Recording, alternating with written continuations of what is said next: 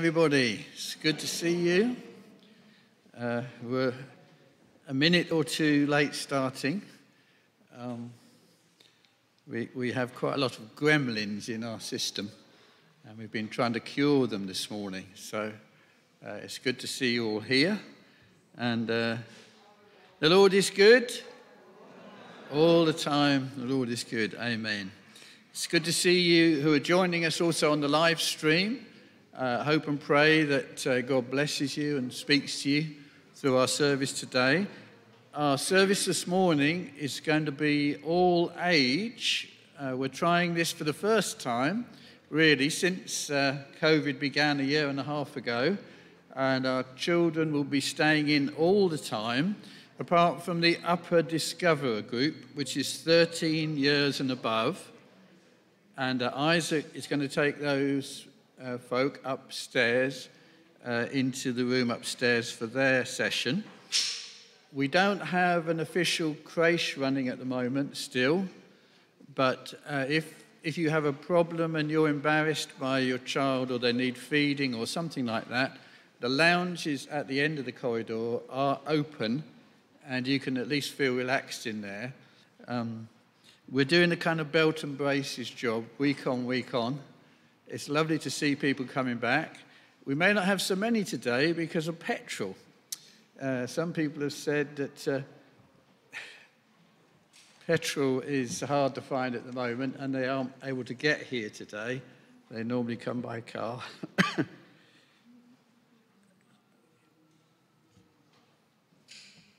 oh, we have uh, Ingrid uh, Jackie, that's Esther's mum's sister, is visiting from the USA. I did speak to you last week, didn't I? Where are you? Hiya. Hiya, Jackie. Hiya, it's good to see you here. Welcome. It's good to have visitors here. Send our love back to the States when you go back.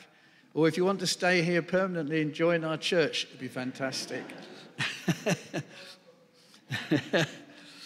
uh, some notices as well. Um, Deacons, uh, we are coming up to the time when we have to nominate deacons. If you're a member of our church officially, uh, we need to nominate some deacons in November, but as preparation for that, out in the foyer on the notice board is a list of people eligible to be nominated for deacon.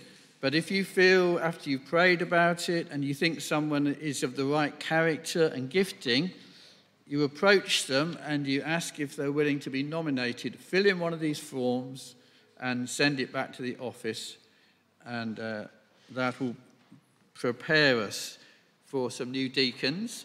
Uh, next Sunday, we're going to be having our harvest display.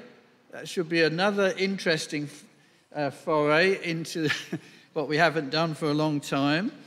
Um, so we are going to have a display. If you're passing the church during the week and you want to bring some non-perishable goods, drop them in at the office. That would be fantastic. We want a nice big display because we give half to our feeding program here at the church and half to Mill Grove Children's Home every year, and they all need our support.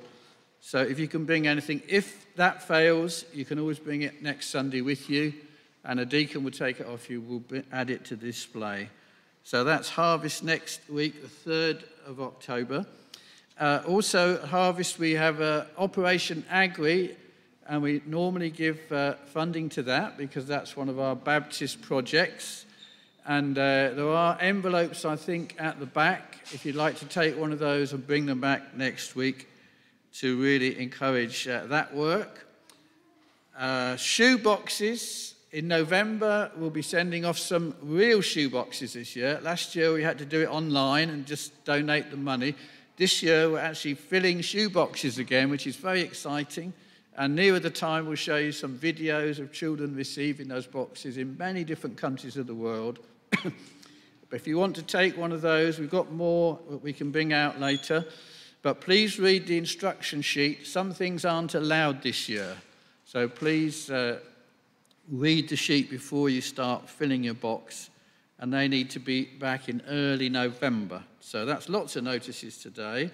A final notice is please pray for Josh Williams, who is traveling to Jamaica tomorrow, all being well, for his mother's funeral. And uh, it's been a very difficult time for them because of trying to make travel arrangements with COVID. So please pray that all will go well. And he'll be there for probably five, five weeks. So uh, do pray for them. Let's just be quiet for a moment and then we're going to share our call to worship. So let's be quiet and then I'm going to ask William to bring up our call to worship.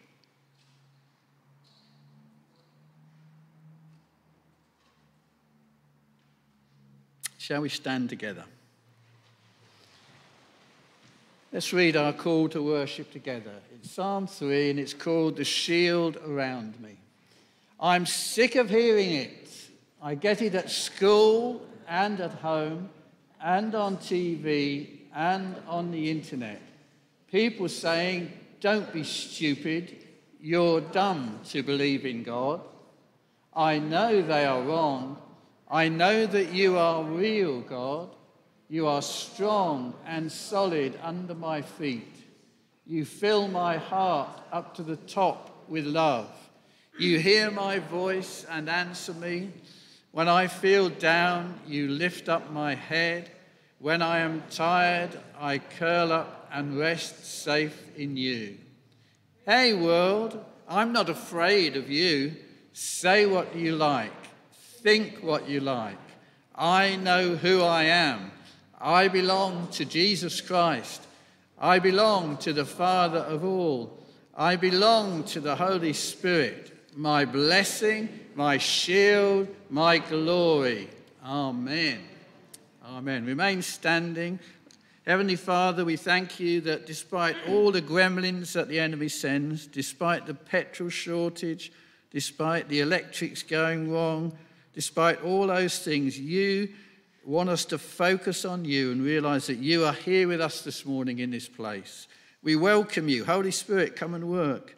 We thank you for bringing our children to us this morning, despite all those problems of getting here.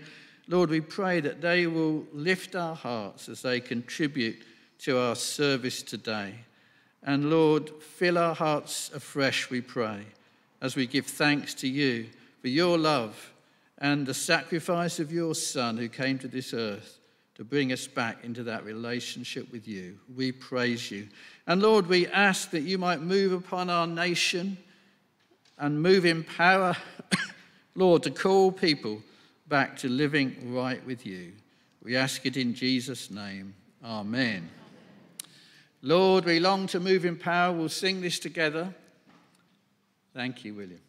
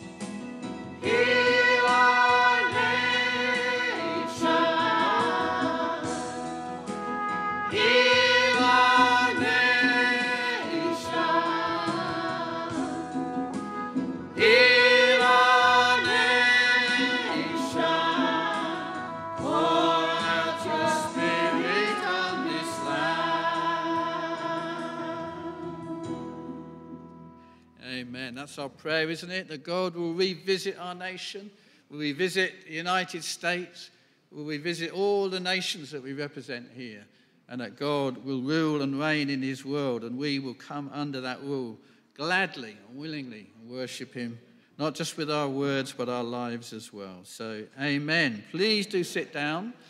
And I'm going to invite uh, Ingrid to come. Is she here? Yes, and she's going to present some Bibles to us. So I'll leave it in your hands. Thank you, Pastor Stephen. Good morning, church. How are we? I was a little bit late this morning, I have to be honest. Petrol is going crazy. So uh, I was going round and around Edmonton trying to get here. Luckily, I know Edmonton well. So I finally got here this morning. So anyway, um, you know why I'm here. Um, I'm actually here to present um, some Bibles to our young people. But first of all, I want to just say how important it is for our young people and our young children to actually come to Sunday school. Um, it's just the Word of God actually sows a seed. And when that seed is planted in that young person, it will be with them for the rest of their lives. And I know how many of you, hands up, how many of you went to Sunday school when you were little? I mean, that is the majority of you, right? Because I remember when I went to Sunday school, every Sunday morning we had to get in. Sometimes we'd get into the church van. I grew up just in Arnos Grove there. And so a lot of my friends, if they saw me on a Sunday morning, they knew that they couldn't play with me because I was going to church. And sometimes they loved me so much that they asked their parents if they could come with me. So they would get into our cars or come into the church van with us and go to church. That's how important it is. So it doesn't matter whether you're a believer or not, just finding that the young people actually find out for themselves who God is. And it actually says statistically, a child or young person who attends a Sunday school will stay within a church or a church environment, or they are more likely to return back in their adult life. So it's really that important. Um, so if we can all just do a little bit of evangelism, we've all been locked down for so long, so what we need to do is to encourage our own children, grandchildren, nieces, nephews, cousins, whatever it is, friends, godchildren. We need to actually encourage them to come back and to, you know, just come back into the house of God and let them learn the word for themselves so that that can actually encourage them. And so I just want to say um, that, you know, the, the Sunday school team, Elizabeth, Martella, and myself, we're just so happy just to see their faces, you know. Like, they're just so happy to be back, just to learn the word of God. And a couple of weeks ago, we was actually doing a recap. We was actually doing some quizzes for the children. And I have to tell you, parents, guardians, you should be proud of your children because they know the word of God, okay? Anyway, the real reason that I'm here, I'm going to present some um, youth Bibles to our children. And these children, um, some of them actually received their Bibles already during the lockdown, but you know, they've actually left primary school, they're now gone up to secondary school. So they've actually left my group, which is Adventurers, and they've now gone up to Elizabeth's group in Lower Discoverers. And it is tradition that they are presented with their own youth Bible. So as I call you up, if you could please make your way up to the stage. Um, we have, and because I know you all, I'm going to just say your first names, first name basis. Angel, if Angel was here, if Angel could come up. Yeah, just stand there, Angel. Um, we have Jordan. I don't know if Jordan is here. Come up, Jordan. You're all at the front, which is good. Um, we have Kobe. Is Kobe here? Kobe's not here today? Okay, we'll save his Bible for him. Um, we have Frederick, or Freddie, should I say? Come up, Freddie. Um, Jonathan, is Jonathan here? Come along, Jonathan. Come along. Um, we have Nikan. Is Nikan here? Nikan's not here? Okay, we'll save Nikan's Bible as well. And finally, I don't know if Leora's here. Is Leora here? She's not here. She is here. Good. Leora, if you could just stand here for me.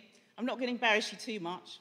But you see, Leora is the daughter of Nadine, who was our deacon. And Leora was so keen to have a youth Bible during the lockdown that she's already received it.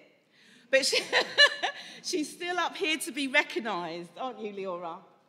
Um, so I'm just going to ask all of you um, what years you're in now so everybody can know.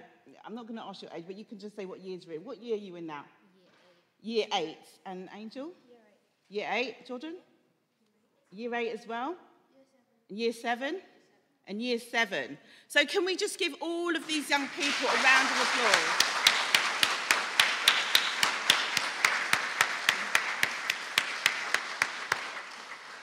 And um, if you could all just say, all your Bibles are on there. Because of COVID, I'm not actually going to hand them to you. So if you could actually just go to the tables and collect them, your name should be on them now. And then just hold them. Can you see them? I think you've already got yours, Leora, haven't you? Did you get yours? Yeah. Yeah. Okay. Okay, so if we could just take a moment just to pray for these young people here, if we just close our heart our eyes and bow our heads. Dear Father God, we thank you for these young people with us, Lord. We pray, Lord, that you will continue to direct them in their lives. We pray, Lord, that the Bible will actually teach them your, word. We pray, Lord, that you will give them correction, Lord, Father. We pray, Lord, that they will be able to preach the gospel, Father, wherever they go. And we pray, Lord, that your light will shine on them, Lord. Be with them now and forever. In Jesus' name we pray, Amen. And if we can just give them another round of applause.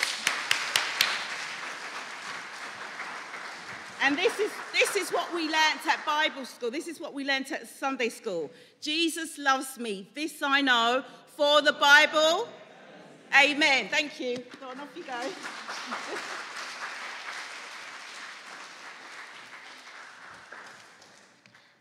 Thank you, Ingrid. Thank you for uh, doing that for us. And what a lovely call to bring the children to faith in Christ. And uh, we know also Penny has been working very hard these last few weeks for us as well. Uh, she loves the children. Uh, so praise the Lord. We're going to sing a song now because we have got children in and we've got young people in today. And we're going to sing a song that we haven't done for a long while, one of our signing songs. So in a moment, I'm going to ask you to stand, but I'm going to show you the signing thing to do first, okay? So are you listening very carefully? As I shall say this only once, okay? Are you ready? It's wonderful Lord, right? Wonderful God. You are my shield, my protector. I can lie down, go off to sleep, knowing you're watching over me. Wonderful Lord, wonderful God, help me to trust you forever. I need not fear, because you are near.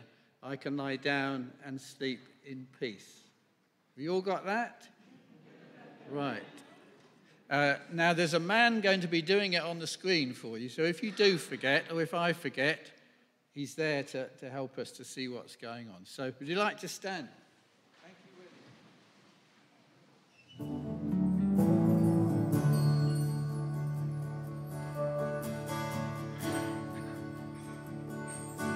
Wonderful Lord, wonderful God, you are my shield, my protector. I can lie down, go off to sleep, knowing you're watching over me. Wonderful Lord, wonderful God, help me to trust you forever. I need not fear, cause you are near. I can lie down and sleep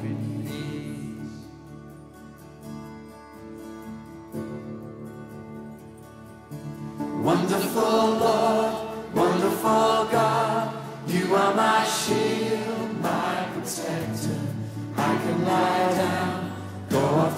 sleep, knowing you're watching over me.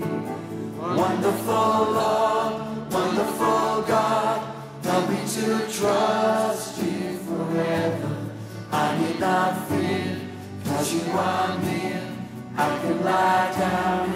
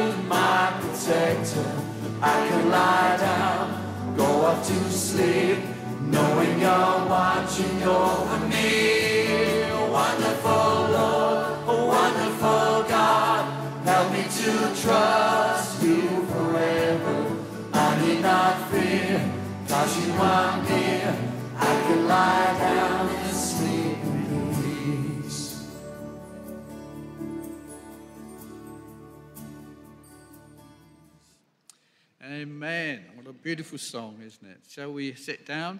And uh, now the upper discoverers, that's 13 years and above. They're going to go out to their session separately. Uh, over 13, any upper discoverers? Over 13? Uh, any upper discoverers? If you have to take part in the presentation and you're over 13, you can always go up to the session later. So, right, good. Okay. Now, one of our children, I'm not sure which one it is today, is going to lead us in our prayers. So, who's going to be doing that today? Leora, thank you very much. Let's uh, prepare our hearts as we turn to the Lord in prayer. Good morning, church. Let us pray. Lord, I bring into your hands the island of La Palma, who are having to evacuate their homes due to the intensifying volcanic explosions. I pray you guide them to safety and watch over them during this time. Jesus Christ, these past 18 months have been very hard on everyone. God, I want to place all those who have contracted COVID or have a family member who has. I pray you put your healing hand on them. During the pandemic, lives were lost. I pray that anyone grieving the loss of a loved one shall find comfort and a mended heart in Jesus' name. Last week, a young teacher, Sabina Nessa, lost her life. Lord, comfort her family and bring justice. I pray you keep all people safe on the road. I bring Afghanistan to your throne of grace as the Taliban has taken over.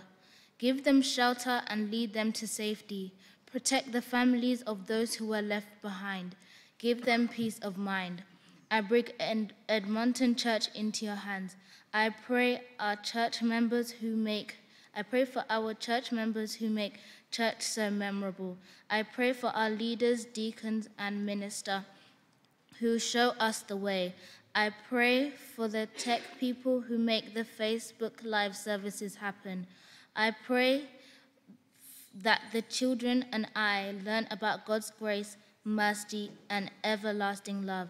In Jesus' name I pray. Amen.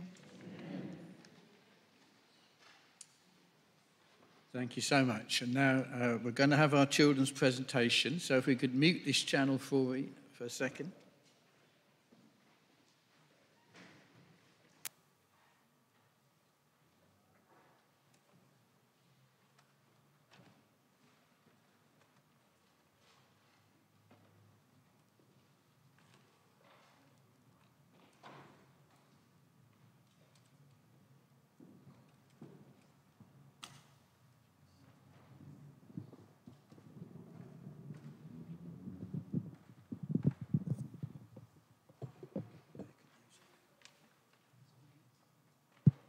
Is this, is this working?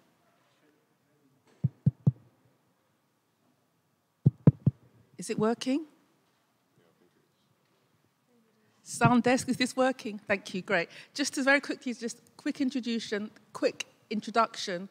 Uh, this is Amos in 21st century England. Thank you. Amos, where are you? Here I am. Amos, my heart is breaking. My people are running away from me, but they think they are running towards me. They have not listened to a thing I have told them. I need you to go and speak to them for me. Me? but I haven't been to Bible school. I am not rich. I haven't been educated. I don't have a degree. I'm a nobody. I am only a shepherd. No, Amos, you are the best person to speak for me. We have a good relationship, and you know what is on my heart. I trust you to speak my heart to my people. Okay, what do you want me to say? Please remind them of my words and teachings, and then give them a new message. This is the message I would like you to give them. Do what is good and run from evil, so that you may live. Then the Lord Almighty will be with you, just as you say he is. Okay, do what is good and run from evil, so that you may live. Then the Lord Almighty will be with you, just as you say he is. Perfect. Come with me. Have a look at what's going on. And these two youngsters come from a family that believe in me. Let's go to the park after school. I know your mum told you to go straight home and not go to the park after school, but she won't know. Come with me. Tell her you had detention. I have been banned from going there. The police are there. It's dangerous. My parents will be very angry. They will take away my phone. They won't know. Come with me. Tell your parents you had a detention. Speak to these young people for me, please, Amos. The youth are the next generation, and they are turning away from you. Okay. Young lady, you should know better. You know the Bible verse honor your father and mother. Then you will live a long, full life in the land of the Lord your God is giving you. So, why are you trying to persuade someone else to disobey their parents? Parents can't tell us what to do. This is England. Children have rights. We can do what we want. One of my friends told social services that his parents were too strict, and now he lives with a foster family. He is now free to go where he, where he wants to go and, do, and to do what he likes. I have a message for you from Father God. Do what is good and run from evil, so that you may live. Then the Lord Almighty will be with you, just as you say he is. That's true. You are doing what is bad and running towards evil. I choose to listen to this message from God. I'm going home, so should you. Well, see you tomorrow. I'm off to the park. To, for, I'm off to the park for some fun. You have made the right choice. God will be with you. Can you make my friend go home? Many gangs meet up in the park and it's dangerous. I am sorry. I cannot make your friend do anything. He has been given free will by God, and he can choose. She can listen. She can choose to listen to God, or she can ignore Him. Go home quickly and continue to obey your parents. God will be watching over you. Everywhere, people are turning away from me. Listen to this. Are you sure, Pastor? Is it really okay? Yes, I'm sure. You don't have to believe that, that part in the Bible. This is no longer important. The law has changed now anyway. Do you see what I mean? My people are being led astray. Please go and speak to these two. Okay, I will do as you say. Excuse me, I overheard your conversation. Yes? God's people cannot pick the, and choose which section of the Bible to believe. If you want to be in good in God's eyes, you must obey everything He says. Remember, and the Lord has declared today that you are people for His treasured possessions, and He has promised you that you are to keep all His commandments. God has asked me to pass on a new message to you. Do what is good and run from evil, so that you may live. And the Lord Almighty will be watching you, just as you say He is. Who are you to pretend that you can hear from God? I have been to Bible school. My church has a thousand members. Come to my church if you want to hear from God. Don't worry, I believe you, Pastor. Father God, I tried, but they wouldn't listen. Keep trying. My people are precious to me. I don't want any of them to perish. Listen to this mother and daughter. What do you think of this Buddha ornament? It would look very good in the front porch. Which color do you prefer? I like the gray one. But what's so bad about these? Please, Amos, remind them of my words. But what's so bad about these little Buddhas? Just like the Israelites did, my people are listening to what people around them are saying. The world says that Buddha statues are supposed to bring peace, serenity, positive energy, happiness, health, and wealth. My people should turn to me for all of this. Instead, they are turning to statues. They don't realize that they are worshipping false gods. I will do as you say. Hello, who are you? How did you get here? I have been sent from, by God to remind you of his commandments. Do Do not turn to idols, and you must not make for yourselves gods of cast metal. I am the Lord your God. Well, I'm not worshipping the statue. There's nothing wrong with it. Everybody has one. I don't believe you. Father God, I tried, but they won't listen. Can I go home now? Not yet, Amos. This world is heading for disaster if they don't return to me. Listen to these two.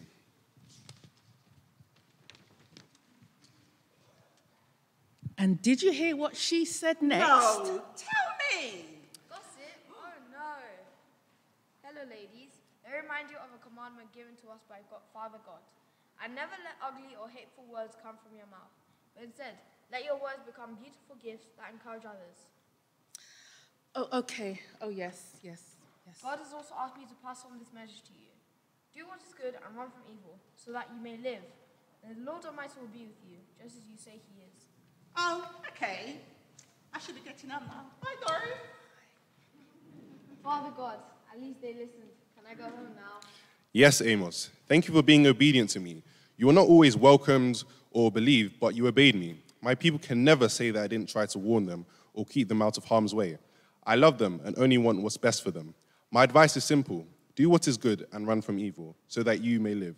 Then the Lord Almighty will be with you, just as you say He is. When I created mankind, I did not create them to die, I created them to live. Today I've reminded them of that choice. Amen.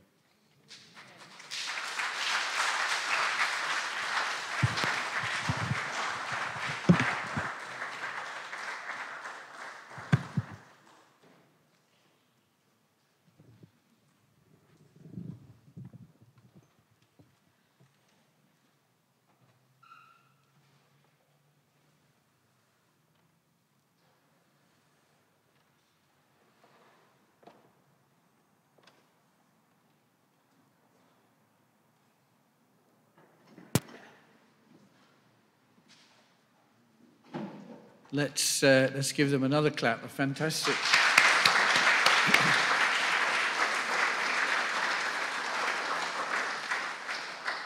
Nathan makes a surprisingly um, good God, actually, doesn't he? He's got that kind of, you, you, you kind of tremble a bit, but well done, everybody. And Penny also, we thank Penny for writing that script based on those verses in Amos, which we're going to look at in a moment. I think one of our children now is going to read uh, the actual verses concerned. I'm not sure who that's going to be. Yep. You've got it all ready, have you? Well done.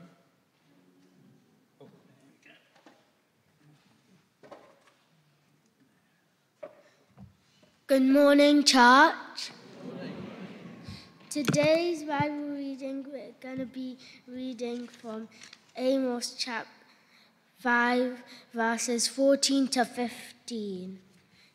Make it your aim to do what is right, not what is evil, so you may live. Then the Lord Almighty really will be with you as he claims he is. Hate is what is evil, love is what is right, and see justice prevails in the courts.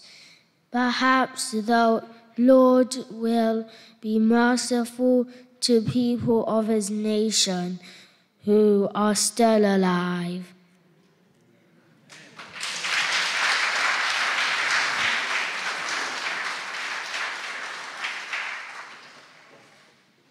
Absolutely brilliant reading. Thank you so much. Uh, we're very blessed, aren't we, that our children are coming back now and are hearing from them. And uh, we're looking at uh, the minor prophets. And we remember we said uh, they're not uh, the minor prophets because they're not so important as the other ones. There are 12 prophets in the Old Testament who uh, preached either for a shorter time or uh, they didn't preach so many sermons as some of the other prophets. So today we've got these uh, verses that we've just heard read Seek good, not evil, that you may live. Then the Lord God Almighty will be with you just as you say He is. Hate evil, love good, maintain justice in the courts. Perhaps the Lord God Almighty will have mercy on this nation. That's uh, a wonderfully challenging few verses, isn't it? Now, was anyone here born in a small village? Anyone here born in a small village? Joycelyn, back in Jamaica, was it? Very good, okay. Anyone else born in a small bit? Martella, back in, Jama- back in Jamaica. Anyone else born? Winklet, back in Jamaica, yes. Yeah? In? In the Philippines, brilliant. We had some wonderful friends from the Philippines, didn't we? They came to live with us for about a year and they used to cook our meals in the evening. Oh, it's delicious. So we praise God. So you know what it's like to come from a small village then? Well, Amos was from a small village called Tekoa. You'll probably go home and you'll have forgotten that already, but uh, he came from a small village, and the Bible says, we've already heard this, he was a shepherd. So it was amazing that God chose a shepherd to do this amazingly important thing. It also says he was a dresser of sycamores. And, you know, despite all the clever people who have been to Bible college, like you were saying, um, no one seems to know what on earth that means because there weren't any sycamores anywhere near where, where Amos was a prophet. So we don't know what the dresser of sycamores really means. If you do know that, please send your answers on a postcard and I'll, I'll be interested to hear. But it says he was a shepherd and a dresser of sycamores. And although he came from small beginnings and he wasn't educated at Bible college, like we hear, and so on, God gave him this amazingly important thing to do. God gave him this life and death message to pass on to all God's people at the time in the northern kingdom of Israel. Why was that? Well, I hope you've already heard the sermon preached once because everything was in there that Penny wrote in there and I'm just going to strengthen it a little bit because it, I'm the minister, and ministers always speak when they've got a chance to, don't they? So, but they've already told you the answer to this question. Why? Why did God give them this amazing message? Because at that time, although they claimed to be God's special people, they were not taking much notice of God and they were doing lots of bad stuff, weren't they? And we heard the children explain some, through some scenes now, some people listened to Amos and took the warning from God. Other people weren't interested and carrying, carried on doing the bad stuff. But it was a time of great prosperity, first of all. Um, people, some people were getting very rich. And I say some people because only a few of them were getting very rich. And they were able to build big houses some of them even had summer houses as well as ordinary houses. And uh, they were built of posh stone, you know, and they stood out compared to other people's houses. And some of them were decorated inside with amazing furniture. Don't know if you've ever been. Have you ever watched those programs on the television uh, where they buy houses, you know? Uh, location, location, location. There's one we kind of watched for a few minutes the other day, and this couple, fairly young couple, was saying uh, they went into this house with seven bedrooms, five bathrooms, massive garden, and they said, no, it's not really quite to our taste. And how much is it? Oh, it's 975,000. And you think, oh, they're turning that down. And you know, they go into some of these houses and they say, Oh, I don't like the colour of the kitchen cabinets. We'll have to rip that out. I think I'd die for a kitchen like that. so they had these amazing houses with amazing furniture and they were really getting rich. It was a time of prosperity. And they had furniture decorated with ivory. You're not allowed to do that anymore because ivory's banned. But ivory was very expensive. And the furniture was made of silk that came from or the Far East, very, very expensive. But how did they get rich is the question. Because people can get rich lots of different ways, can't they? And some of the ways people get rich are bad ways. I'm sure you could tell me some of those ways. But these people got rich by taking bribes. Do you know what that means? Yeah, what is, what is it then, Fred, Frederick? When someone takes a bribe.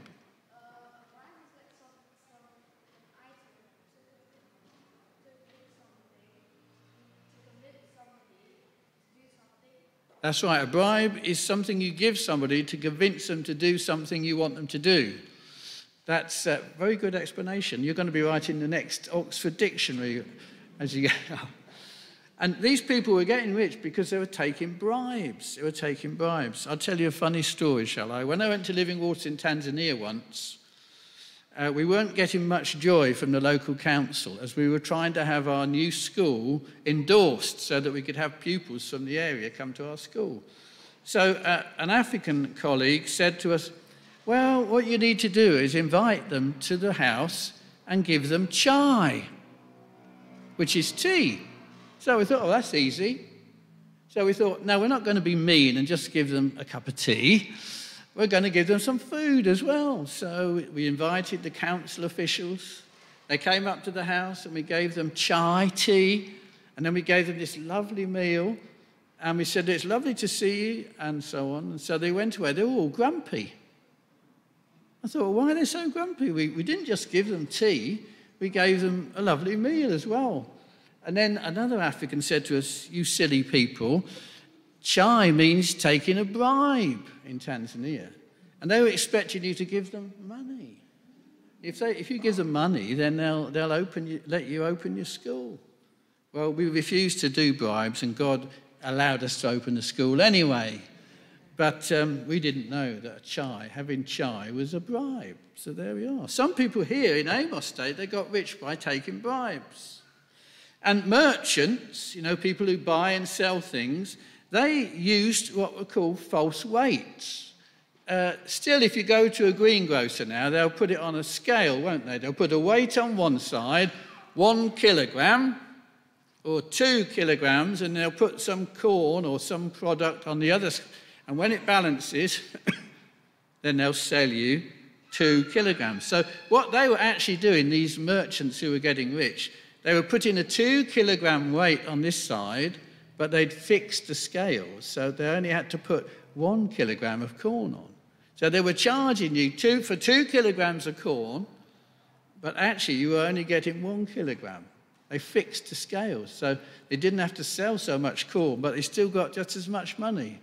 And that's how they were getting rich. Merchants were taking, using false weights, the Bible says. And then uh, all kinds of other things were happening. The rich people got richer and the poor people got poorer. Nothing's really changed, has it? No. Uh, I'm not going to make a political statement about what's happening at the moment in our nation, but you all know exactly what I mean. It's going to be the poorer people in our nation who are going to be hit by the people who've got plenty of money to do just what they want, and they won't be hit by the same things that the poorer people are. And the result of all this was that God wasn't pleased. You heard in, in our presentation earlier, Nathan, God was saying, you know, this is, this is wrong. It makes me unhappy. I'm not pleased with my people. Go and tell them, Amos.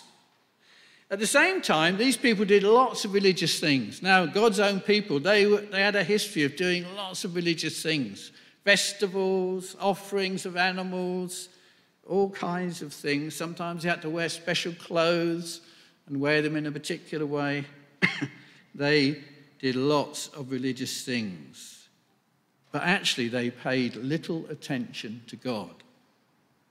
Their religious behavior was a sham. Do you know what a sham is? It's something false, isn't it? That's right. Uh, it looks good, but it has no heart behind it. It's a cover for bad things that they were doing. And the leaders who were doing well themselves, they didn't care about the people who were in need or who were poor. They didn't care what happened to them as long as they had plenty to live on. So God called this man Amos to bring this important message and warning Seek good, not evil, that you may live. Then the Lord God Almighty will be with you, just as you say he is. Is that what you are doing? Are you seeking good and not evil? Or are you happy with evil and you're not really seeking good at all? Now, God's love for every single one of us and you out there is unconditional.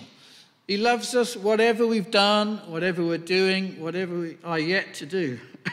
but his promises, his promises are conditional. His love is unconditional. You can never say God doesn't love you. His love is unconditional but his promises are conditional. And so, what it says here through the prophet Amos do you want to live and be right with God? Then the condition is seek good and not evil. Seek to do what is right before God and not be happy and content with what God does not like. And it says, if you seek good and not evil, then God will really be with you. You should say, Oh, amen. you say God is with you, but only if you hate evil and you love good and you do what is right before God. And God tells Amos this message three times to the people in these few verses, just so they, they get it, just so they get it. Now, every day we live vertically and we live horizontally. Did you know that? We live vertically because we're supposed to have a relationship with God, right? Now, He's not really up there, He's everywhere, but we kind of say He's up there because He's God and we're, we're not, okay? So we have a vertical relationship. We have to keep our love for God really strong. But also, we have a horizontal relationship. Some of you are sitting in family groups. You've got a father and a daughter. Uh, what else have we got? Husband and a wife, husbands and wives. We've got brothers and sisters. Some of you might be neighbors. We've got people who we go to church with. So we have horizontal relationships.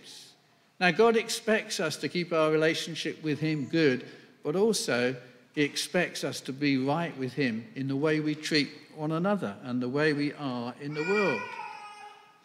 And we cannot claim that we have a great time with God if we're not living right with other people around us.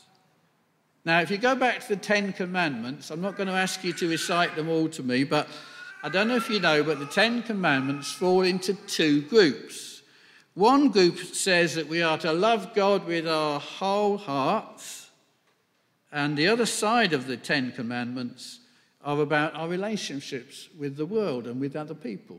If you go home and look at the Ten Commandments, you'll see that. Two groups. One is about our relationship with God, and the other group is how we relate to the people around us and the world around us. And Jesus actually was asked once, which is the greatest command? And he actually summed the Ten Commandments up into two commandments, didn't he? He says, Love God with all your heart, with all your strength, with all your mind, and love your neighbor as you love yourself. So get the relationship with God right, get the relationship right with others. Now, sometimes, especially grown ups do this, so you children can listen, because if you ever spot it, you can always give them a, a nudge and say, hang on a minute. Sometimes we divide life into two parts, right? And the two parts, are, and you're the dictionary here, Frederick. One, there are two posh words. One is sacred, and the other is secular. Now let's see if you've got any idea about. Frederick, what do you think sacred means? Something that is holy, yes, to do with God and religious beliefs, yes. What a, not to do with absolutely. Let's give him a clap for that. I'll pay you later. Okay. no, that was brilliant definition. Sacred is something holy to do with God, to do with religious things. Secular is something nothing to do with God. Now, lots of adults, they divide the world into the two parts. And you watch them sometimes, you can give them a little nudge uh, because they say, well, what does sacred mean? Well, it means we think that some things involve God and concern God. Going to church, you're all here today, so this is sacred, isn't it? Actually, this room is just the same as any other room in any other building except that we're here worshipping God. It's not the room that's sacred, is it? It's our relationship with God. But um, anything to do with God and anything that concerns Him, going to church, giving some offering, dressing respectfully on Sundays. You see, I've got my tie on today. Because I'm preaching today, there's power in the tie, you know. but we come respectably. It's sacred. It's Sunday. It's God's day. Um, occasionally we take communion. Uh, sometimes we have our children dedicated here, or we think that if someone dies, oh, it's got to be done in church. This is sacred, isn't it? We think that stuff involves God, therefore it's sacred. Now, secular, as Frederick rightly points out, means that we think there's a lot of other stuff that really isn't God's business at all. And it doesn't really concern him. If Sunday is God's day, then Monday to Saturday, when we're not in church, we can do whatever suits us, can't we? Some of you know that your parents love Jesus and they've tried to bring you up in the Christian way. Now, I wonder what happens when you go off to school on Monday, and I wonder what happens when you grow up or you go to university when they're not watching over you. How are you going to be then? That's interesting, isn't it? Um, if Sunday is God's day, then Monday to Saturday, when we're not in church, we can do whatever suits us. That's the way we think, isn't it? And that's how we often live as well. But that was what Amos was preaching against to God's people all those years ago. Because in God's eyes, everything is sacred. He made the world, everything in it. Therefore, everything is sacred. God's interested, concerned, involved, watching over everything in our lives. It's God's world and we belong to Him. Everything is sacred to God. Everything we do is God's business. He's involved with us. We're accountable to Him for everything. And in order to be blessed and to really live, we have to seek good, what God wants, and not evil. Everything we do should be honoring to God and give Him glory. And I want to ask the question to you young ones, to you middle aged ones, no, not going to point to anyone, and you slightly above the middle age bracket. Are you one person on a Sunday at church? Or if you come to a religious meeting at the church or wherever, but a different person from Monday to Saturday? If someone gets to know you in church, they'll say, Oh, she's so polite and lovely. She says lots of good things about God, but have you seen her on a Tuesday? Or do you know I work with that person? She's horrible. That's because we divide the world into two parts sacred, this belongs to God. Secular, this is none of his business. But everything to God is important. And Amos preached God's looking at everything we do, and everything belongs to God. And if you really want to live with God and have the benefits and blessings of being in relationship with Him, then we have to seek good, what He wants, and not evil. Are you one person different when you go to school? Uh, do you, for example, join in the bullying when you, there's somebody who's being bullied? Do you, do you join in? Do you say, come on, join us, and we're going to pick on that person? Are you one of those people? No. Now, Frederick's saying no. I actually believe him because he's got a lovely heart. He's a transparent heart. He loves Jesus. It's a challenge, though, isn't it? If your friends tell you to do bad things, are you a different person when they, when they do that? You gave us some wonderful examples. When you go off to university, who hopes to go to university eventually? Yeah? Anyone else? Yeah? Okay. Another one at the back there. Quite a few have gone off just recently, and some of you are ready to go. Now, when you go to university, mum, dad, uncles, aunties, they're not going to go with you. Hey, that's going to be wonderful, isn't it? Free of anything they tell you you've got to do. You can do anything you like. And the only time you come home to see them is when you bring your washing home. And, but you'll be free of their restraints. What are you going to be like when your mum and dad don't tell you what's right to do? Um, all of us in our homes, are we godly people or are we ungodly in our own homes? When we're at work, maybe you're a business person and you, are in charge of people under you. Do you treat those people well? Do they appreciate? Uh, do they appreciate you being a good boss? Or if you're under a boss and, and you have to do as you're told, um, do you give good time or do you slip off an hour early every day when the boss is not there?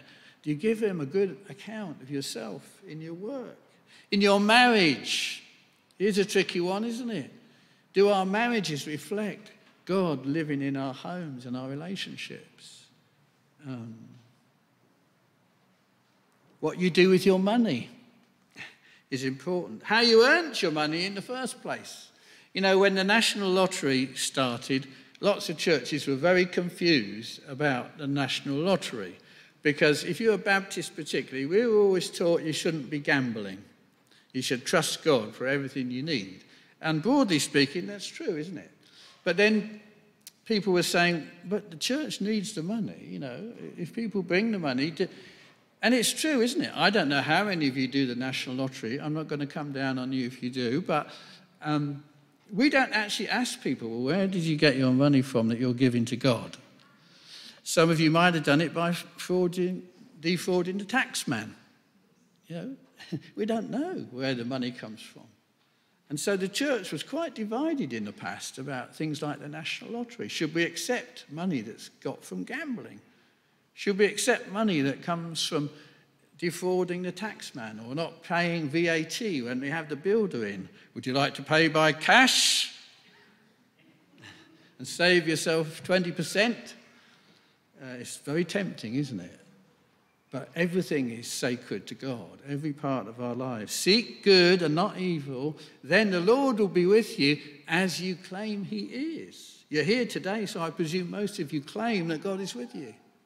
Seek good and not evil, and then you will live.